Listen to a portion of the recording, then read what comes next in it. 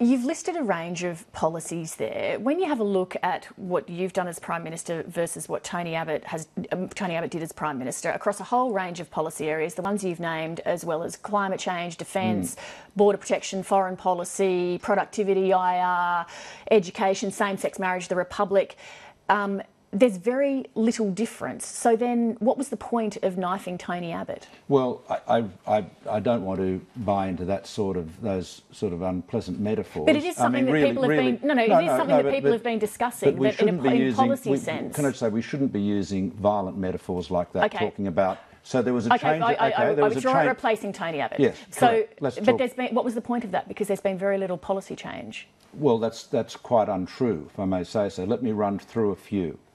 Firstly, we dealt with Senate voting reform. That was not on the agenda and it's done. It's been voted in and done.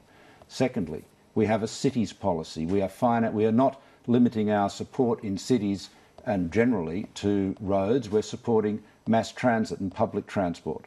Media ownership reform, kicked into the long grass, never to be seen again apparently, taken out. It is now the government's policy and we'll be proceeding to bring our media ownership laws into the 21st century and right across the, the agenda of innovation. That's, that is an innovation, if you like, of my Prime Ministership.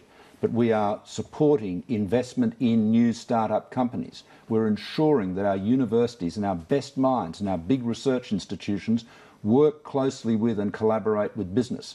I mentioned the point about business continuity and changing corporate bankruptcy laws.